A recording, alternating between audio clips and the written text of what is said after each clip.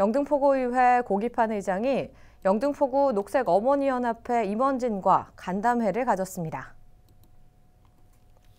간담회에는 영등포구 녹색 어머니연합회 회장 및 임원진 4명이 참석해 지역 현안에 대한 이야기를 나누고 등하굣길 안전과 관련해 논의했습니다.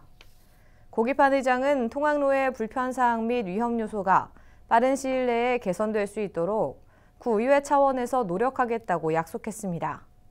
한편 농등포구 녹색어머니연합회에서는 당중초등학교, 당서초등학교, 영중초등학교, 우신초등학교에서 아이들의 안전을 위한 녹색 활동을 진행하고 있습니다.